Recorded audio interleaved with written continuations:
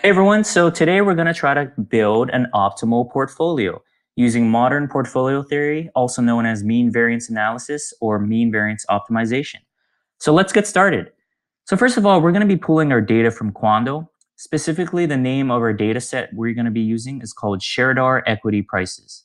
So you can just create an account with Quandl and you can get access to this database. So first things first, we're going to need to import Quandl.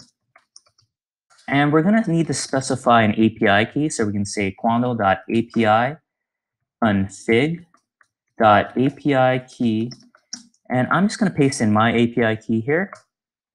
We're going to just need two libraries, import NumPy as NP, and we're going to import pandas as PD. So we'll run that. Now, Quandl has a get table function that outputs a pandas data frame. So we're going to call that data frame prices. I'm going to call the get table function. And this get table function takes in a few arguments. It takes in the name of our database. So it's ours is called Sharadar slash SEP for equity prices. It also takes in, takes in a ticker argument. And we're going to look at several tickers today. We're going to look at Apple. We're going to look at Coca-Cola, Nike. We'll also take a look at Tesla. And finally, let's take a look at ExxonMobil. This function also takes in a date range argument, and the date range we're going to be looking at is the 2017 to 2018 time period. So we can say GTE for greater than equal to, and that'll be greater than equal to 2017, January 1st. And less than equal to LTE,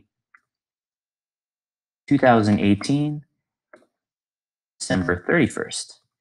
Finally, this argument or this function takes in a paginate equals true argument. And the reason why we need to specify this is because Quandl only outputs about 10,000 rows of data if you do not. So let's run this. And this should output a data frame called that we've called prices. And we'll output the first five rows of data here. And there we go. We have our prices data frame. And you can see that we have several data points here. We have date, open, high, low, close, and volume. But we're actually only interested in closing prices today. And we'd like our tickers to be the columns and the date to be our index. So to do that, we need to pivot our data. So we're going to create a new data frame called pivoted. And we'll take our original data frame prices and call the dot pivot function. So say this, and we're just going to say index is equal to date. Columns will be equal to the tiers. And finally, values that we're interested in will be the closing prices. So we'll see what that looks like here. There we go. We've pulled our data. We have our columns, the tickers as our columns, the date as our index, and the closing prices as our values. Finally, if we wanted to apply a percentage change function, instead of looking at daily prices, maybe we want to look at daily returns. We can easily do that. So we can take our, our original our data frame called pivoted, and we're just going to apply the dot percent change function on top of that. So run that. And there we go. We have the daily percentage returns on our tickers. So if you like this video, please subscribe. In our next videos, we're going to look at variance, standard deviation, correlation, all very important in learning how to calculate an optimal portfolio.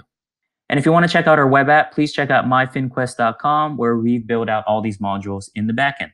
So till next time.